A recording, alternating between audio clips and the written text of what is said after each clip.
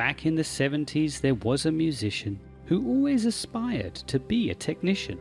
He was born in Germany and named John Wiegand. His knowledge of magnets incessantly deepened, experimenting with ferromagnetic wires, targeting a breakthrough before he retired.